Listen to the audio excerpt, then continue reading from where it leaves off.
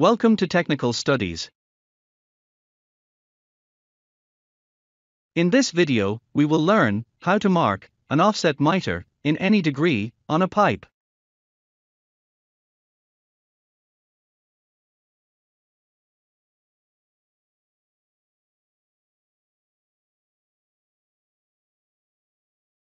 To mark a miter cut, we need to know the cutback of the miter.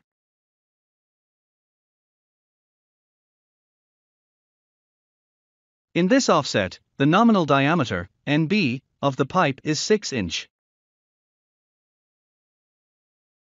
The angle of the miter is 45 degree. This method is suitable for cutback of any degree.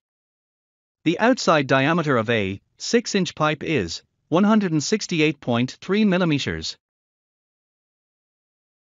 Cutback is OD multiplied by tan half degree divided by 2. Here, the required degree is 45. Half of 45 is 22.5. Let us calculate.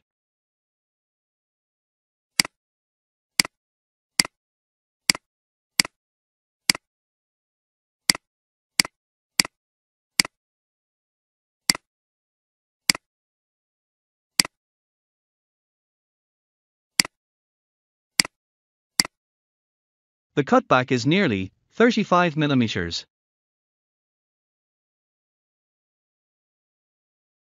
Put the pipe on stands.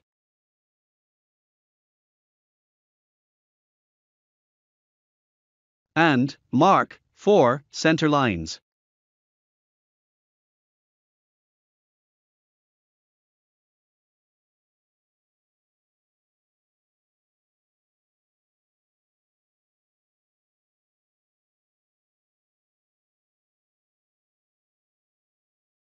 Mark 600, 800, and 600 mm, respectively, as shown.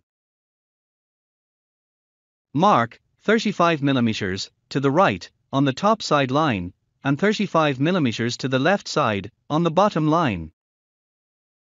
Draw a smooth curve connecting these points. Or divide the pipe to 12 parts, draw a layout as shown, and mark.